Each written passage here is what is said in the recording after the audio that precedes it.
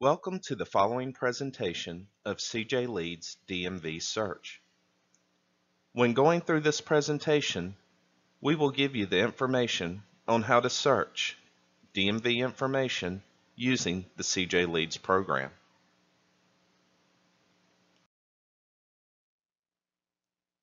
Within CJ Leads, there are two types of DMV searches.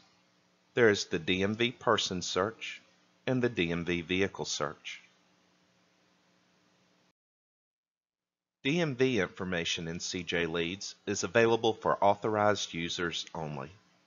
Law enforcement, law enforcement support staff, probation, and DMV user roles are authorized to access driver's license images, data, and vehicle registration data. Prosecutors, judges, magistrates, clerks, and corrections prison officials may see only driver's license data.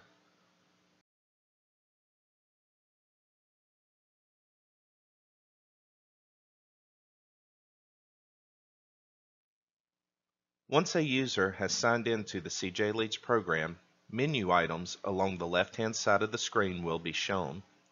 Choose the menu item DMV Person to conduct a DMV person search. Unlike an offender search or an advanced offender search, a DMV person search can only have one search reason. Because of this, CJ Leads has automatically inserted that reason. The only search reason can be person ID check. While in this screen, you have the option to choose Search Note to add a note on why you're searching this individual for future reference. The state destination is for DCI use only. The driver history, that is for DCI use only also.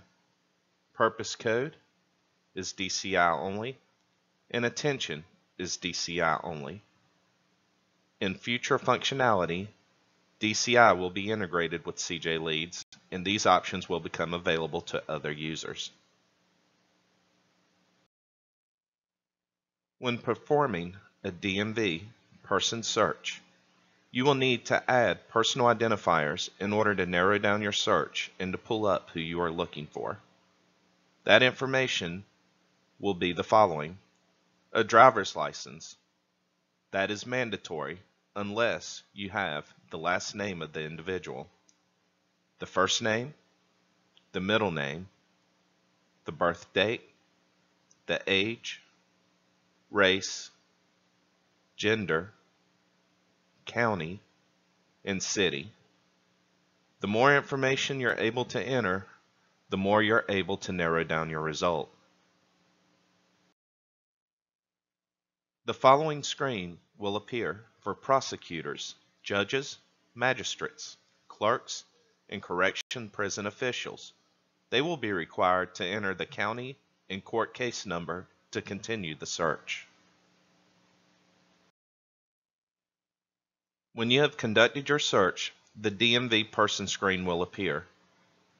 Much like the CJ Leads offender screens, there are two sides, the left pane and the right pane. The left pane has basic information along with the menus that are able to be chosen throughout this. You will automatically be on the first menu, which is your license data. On the right hand side of the screen, you'll be able to see the information for license data. Up top, it will have the driver's license status along with demographic information and address. Recently, information as far as veteran status and active duty military have been added. However, because this is a new feature, it will not be readily available until more and more DMV users update their license information. The license detail table below simply gives your basic information on what class of license and any restrictions that may be available, along with the dates. The next menu under License Details is Driver's History. By clicking on this, the table to the right that appears will be the driver's history for that individual. This will be anything he has done within his history as far as a begin date, an end date, and the description. This could be anything from simple license renewal to any speeding infractions that may be on that license.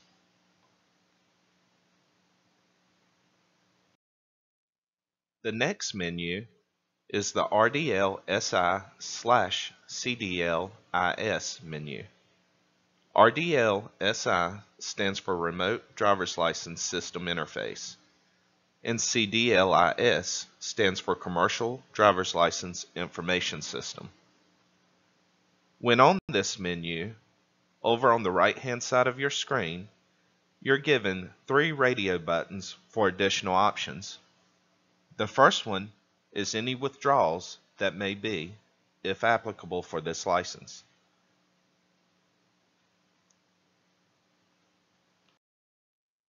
The second radio button is your RDL SI slash CDL IS convictions.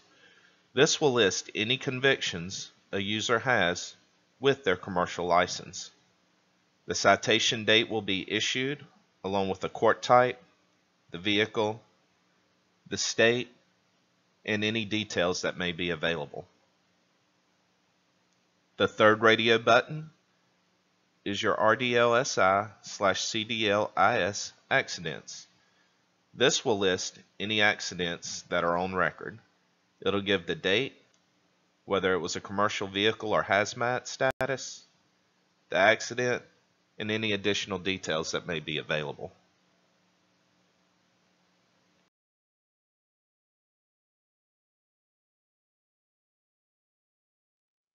The last menu that is available for this search is Vehicles.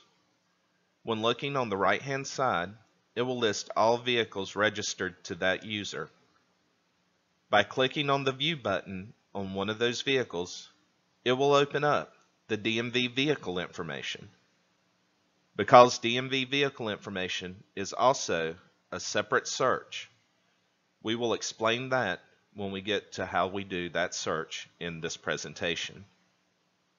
However, if you were to click on View, it would take you straight into the DMV vehicle search.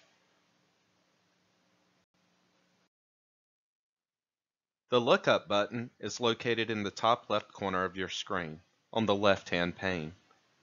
By clicking the lookup button, CJ Leads will perform a search on any offender information based on the information it has found from the DMV person lookup. Located up in the left-hand corner of your screen, you will also notice a report button. That report button is there to allow you to run a report for the DMV person search that you've just conducted. You will be able to set the parameters using drop-down boxes stating yes or no to have that information listed. If you find that you run the same report and use the constant settings, you may check Remember these settings located on the right hand side of your screen to ensure every report ran will have those settings from there on. Much like a search, you will be given the choice to enter a reason. A reason must be entered, however you may choose what that reason is on this screen. You must print the reason that you are about to print or run this report.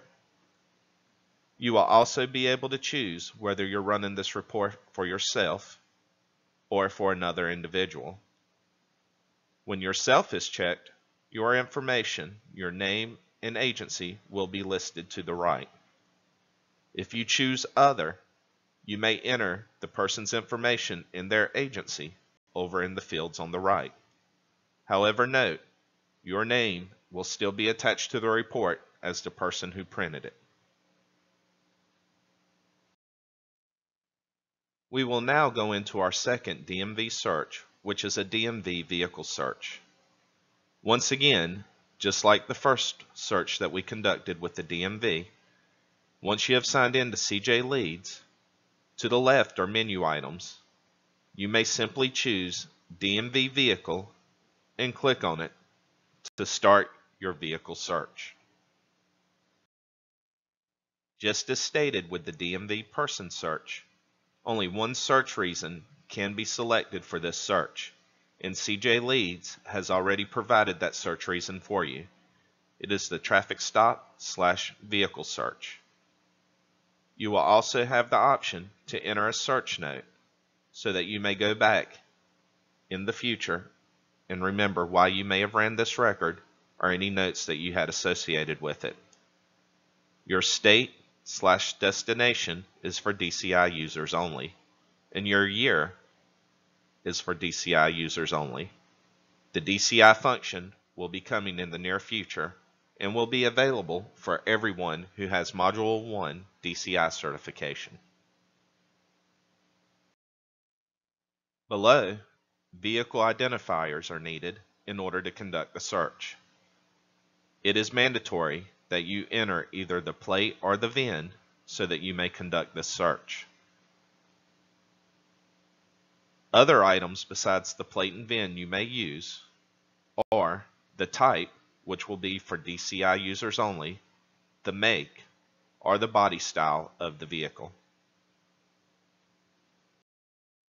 When your DMV vehicle search screen opens, much like the last search, you will have a left pane and a right pane. The left pane will show the four menu options you have for this search. The right pane will show the information for the menu you have selected. Note on both sides of the screen, the status, pickup plate, insurance stop, and inspection violation will be in red if any of those apply. Up top on the right hand side of the screen, it is given the basic information for the vehicle that that owner or leasee is using.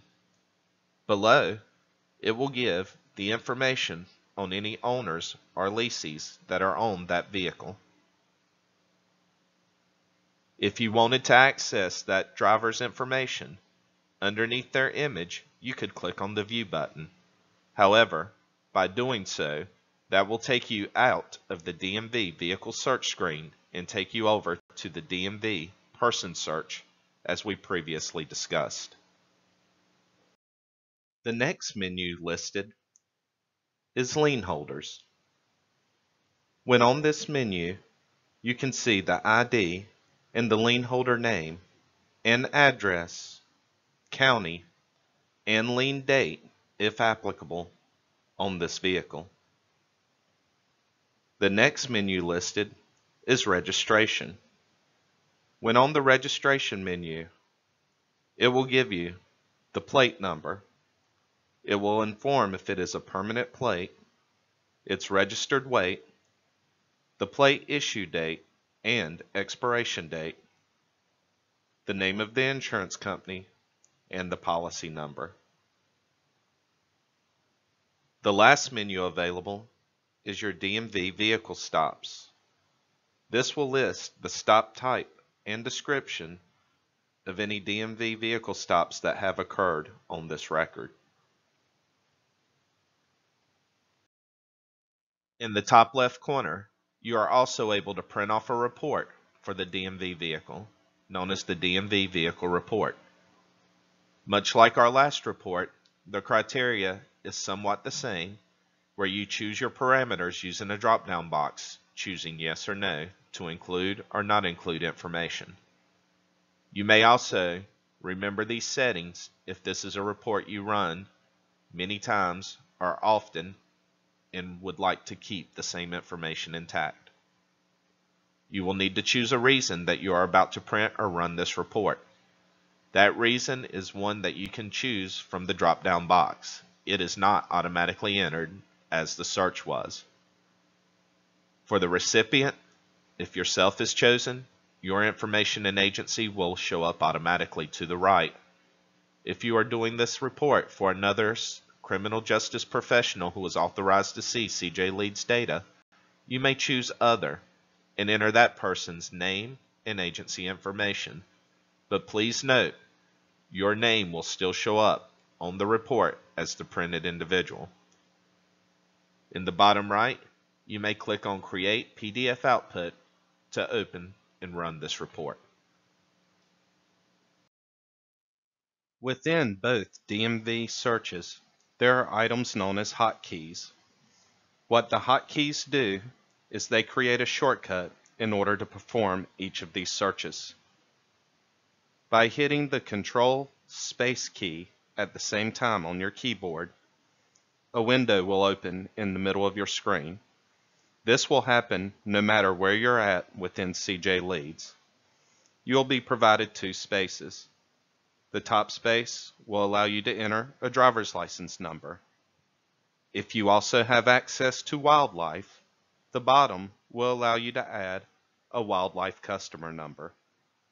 This will perform either one of those searches.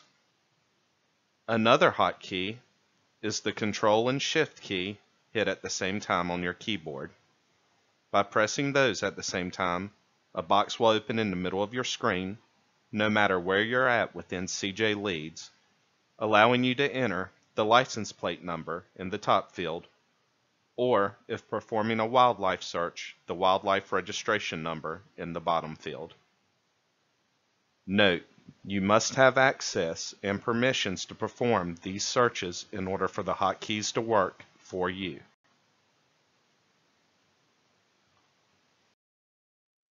If you have any questions concerning any of the DMV search information within CJ Leads, please contact us at cjleadshelp at nc.gov. As always, we here at CJ Leads appreciate everything you do. And please, stay safe.